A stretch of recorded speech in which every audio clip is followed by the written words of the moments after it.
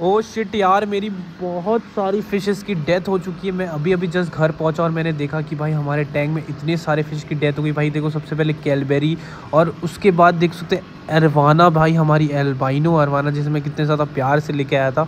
और मैं देखता हूँ कि और कितने सारे फ़िश की डेथ हो गई। देख सकते हैं यहाँ स्टिंग रहे और मैं आपको दिखाता हूँ, मैंने ऊपर देखी थी। देखो भाई, ये है हमारी तीसरी पिकॉक बास कैलबेरी इसकी भी डेथ हो चुकी है। शिट यार, और अब देखते हैं आरटीसी की हालत बहुत ज़्यादा पतली हो चुकी देख सकते हैं, कितनी ज़्यादा कमज़ोर दिख रही है।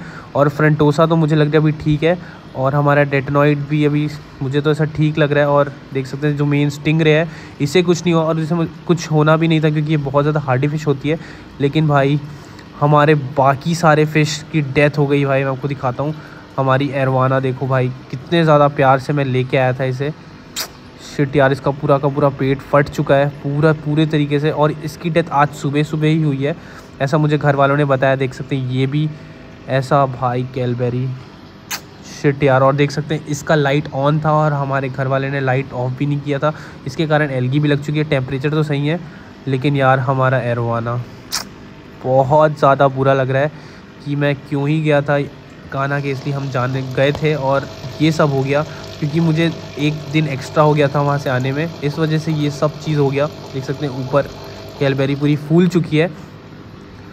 शिट यार, एरवाना आप लोग देखो।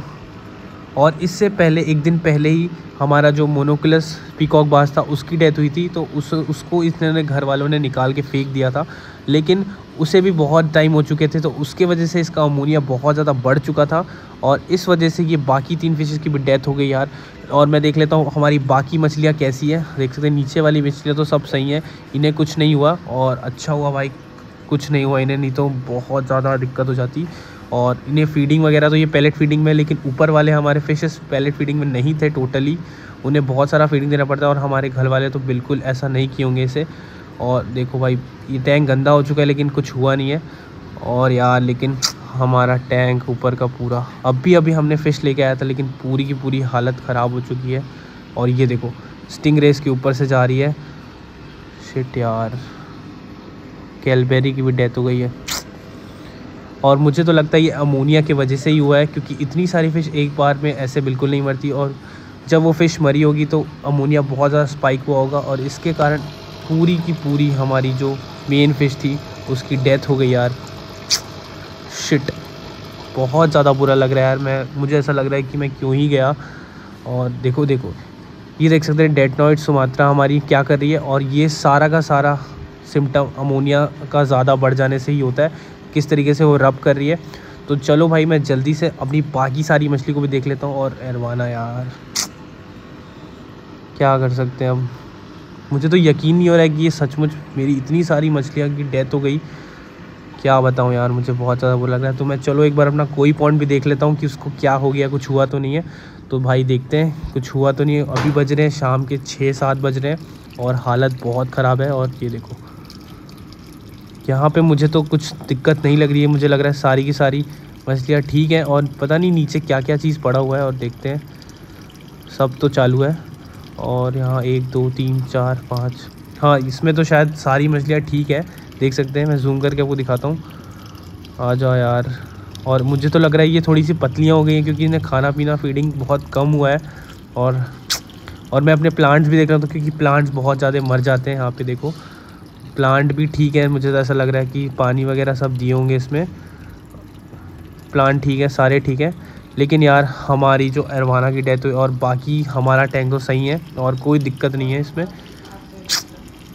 यार, और इसे भी फीडिंग देना पड़ेगा अभी, क्योंकि मुझे तो नहीं लगता इसे अच्छी फीडिंग मिली होगी, क्योंकि ये मुझे थोड़े से पत्ते दिखाई दे रहे हैं।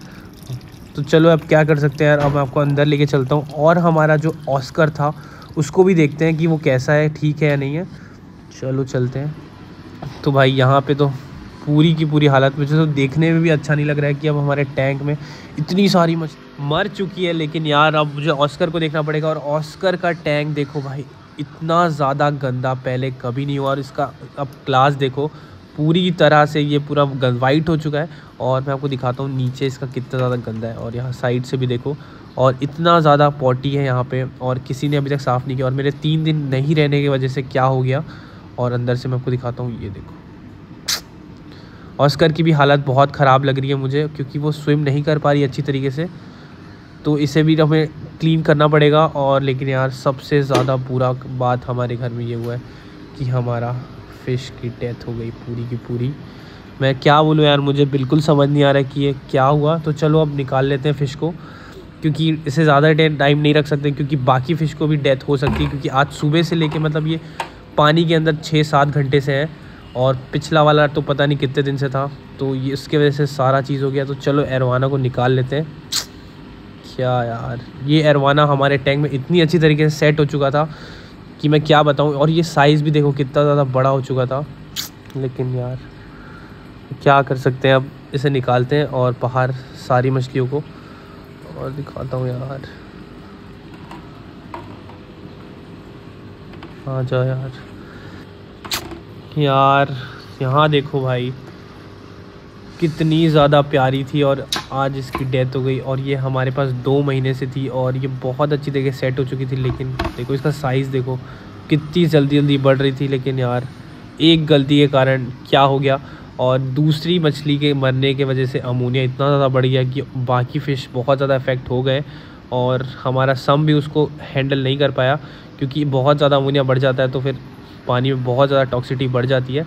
इस वजह से देख सकते हैं कैलबेरी भी हमारी शिट यार कैलबेरी बहुत ज़्यादा प्यारी मछली होती है और बहुत बड़े होके बहुत ज़्यादा अच्छी दिखती लेकिन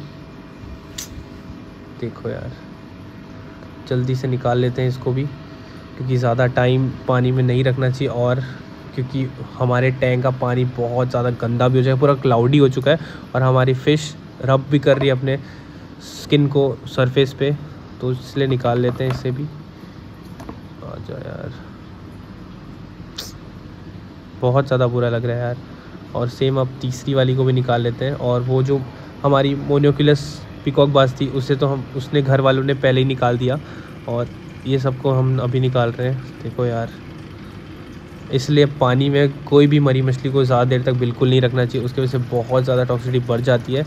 और और मुझे तो लगता है इसको प्रॉपर फीडिंग भी नहीं मिली। इसकी वजह से इसकी डेथ हुई। क्योंकि हम इसे पैलेट फीडिंग में अभी तक इसे, ये आई नहीं थी अच्छी तरीके से, क्योंकि नई फ़िश थी। और मैं इसे अभी श्रिम्प खिला रहा था। इस वजह से और हमारे घर वाले तो मुझे लगता है कि श्रिम्प इसे नहीं खिला रहे होंगे। वो पैलेट डाल के छोड़ देते होंगे और पैलेट छोड़ने की वजह से अमोनिया और स्पाइक हुआ होगा और इन लोगों की फीडिंग की वजह से भी डेथ हो सकती है। अब मुझे प्रॉपर तो पता नहीं कैसे हुई और लाइट भी इसका बहुत देर ऑन था तो एलगी भी लग चुकी थी।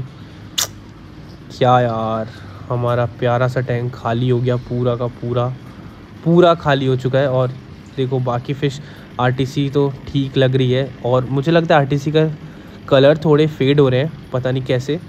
और उसके लिए भी मुझे सब ठीक करना पड़ेगा और मैं आपको दिखाता हूँ एक बार फ़िश भाई, ये देखो, अब कुछ भी नहीं कर सकते और मैं इसे अपने गार्डन में इसे दफनाने वाला हूँ क्योंकि यार, और देख सकते हैं मेरी छोटी वाली फ़िश भी, की भी डेथ हो गई, जो हमारी ग्रीन टेरर थी। बहुत सारी डेथ हो गई हमारे आज, इस दिन में यार।